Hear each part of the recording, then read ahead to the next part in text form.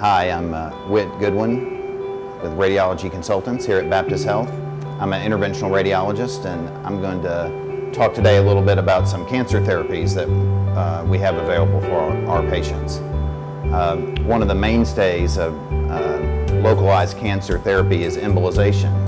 And uh, this is a procedure where we uh, gain access into the arteries and we can direct therapy into the liver, mostly uh, to treat uh, patients with uh, metastatic disease or primary tumors in the liver.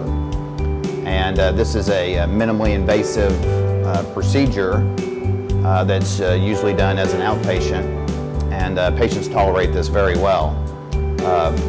we're able to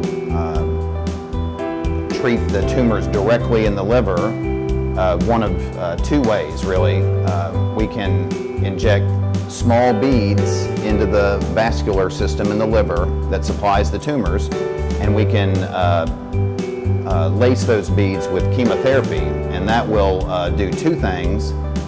can cut off the blood supply to the tumors, which will can contr control their growth. It also can deliver a, a concentrated dose of chemotherapy directly to the tumor so there's less uh, effect to the uh, entire body for the patient. And it's uh, very well tolerated for the most part. One of the things we've started doing in the past year is uh, a procedure called uh, Y90 radioembolization where we're able to inject beads that are uh, radioactive.